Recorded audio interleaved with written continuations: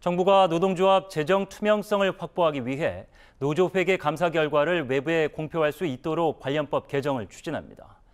윤석열 대통령도 노조가 노동 약자를 제대로 대표하지 못하고 있다며 강력한 개혁을 주문했습니다. 유성훈 기자입니다. 정부가 노동시장 개혁을 위해 노사관계 불합리한 관행 개선도 본격 추진합니다.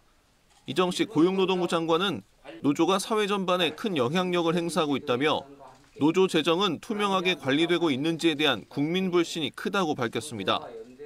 노동조합의 재정이 투명하게 관리되고 공개되는지에 대한 국민의 불신은 커지고 있으며 이른바 깜깜이 회계라는 말까지 나오고 있습니다.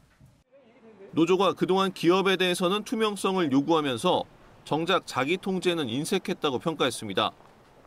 이에 따라 정부는 노조가 법률에 따라 자율적으로 재정의 투명성을 점검, 보완할 수 있도록 하겠다는 방침입니다. 대상은 조합원 1000명 이상 단위 노동조합과 연합단체 253곳입니다.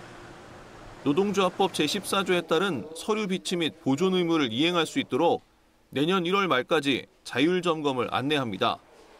또 조치 결과를 보고해 조합원이 재정 운용 상황을 확인할 수 있도록 할 계획입니다. 이와 관련해 윤석열 대통령은 노조 부패 방지와 투명성 강화가 우리 산업의 경쟁력 강화와 노동자 복리 증진에 필수적이라고 전했습니다. 특히 수석 비서관들에게는 노동개혁에 임해달라고 주문했습니다.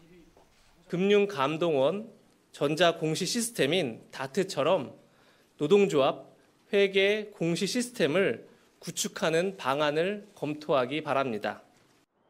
한편 고용부는 노사관계의 불합리한 관행 개선에도 나섭니다.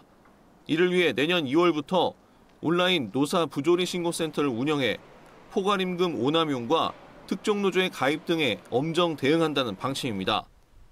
OBS 뉴스 유성훈입니다.